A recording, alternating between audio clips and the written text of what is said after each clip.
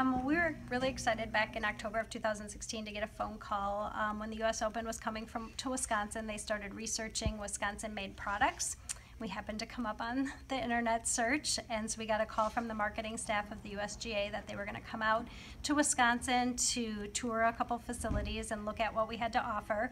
Um, so when they came out, they came and toured our studios, they came and toured our production facility. We did a presentation of products we thought would sell well at the US Open, and we were chosen in November of 2016. So it was exciting. Um, every product that we're making for them is handmade, and it's all Wisconsin themed product your beer glasses, your cheese plates, your whiskey barrels, um, everything that sort of denotes we're from Wisconsin. so eating and drinking. From a piece count quantity standpoint, it's a great order, but for us, we see it as a bigger opportunity for a small business to be on a national stage. It's super exciting that the U.S. Open is coming to Wisconsin for the first time. Um, and the U.S. Open brings a lot of business people, and it brings a lot of business. Golf is a business type business, and um, we're really hoping that that gives us a lot of marketing, branding, and advertising exposure.